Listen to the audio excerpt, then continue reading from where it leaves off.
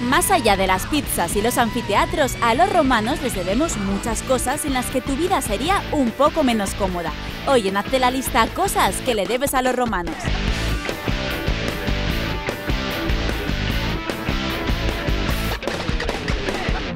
Los romanos sabían lo importante que era el agua para mantener una ciudad sana y por eso construyeron tantos acueductos. Y lo hicieron tan bien que todavía hoy se conservan algunos. A ver cuántas tuberías de PVC quedan dentro de 2000 años. Para mantener informados a los patricios romanos se inventó el Acta Diurna, una especie de periódico que resumía las noticias más importantes del día. ¿Te imaginas a alguien tallando en piedra un reportaje sobre los diferentes peinados de Cristiano Ronaldo? Los romanos, al igual que los buenos jugadores del Catán, sabían que una de las herramientas imprescindibles para el desarrollo de un imperio son las carreteras. Por eso se esforzaron en construir muchas y muy bien. También que muchas de las carreteras más importantes de Europa pasan por los mismos sitios que las antiguas calzadas romanas.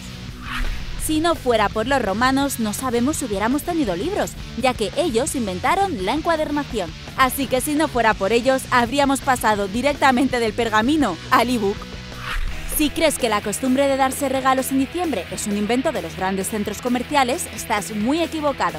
Los romanos ya lo hacían en las Saturnales, una festividad en la que incluso se daban días libres a los esclavos.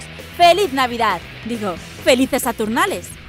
El latín, el idioma oficial del Imperio Romano, es el padre de muchas lenguas europeas como el español, el francés, el portugués, el italiano o el rumano.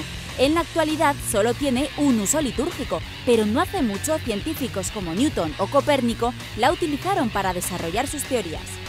No es que los romanos inventasen la medicina moderna, pero sí que dieron algunos pasos muy importantes, sobre todo Galeno de Pérgamo, cuyos descubrimientos fueron tan importantes que se bautizó una rama de la farmacéutica en su nombre, la farmacia galénica.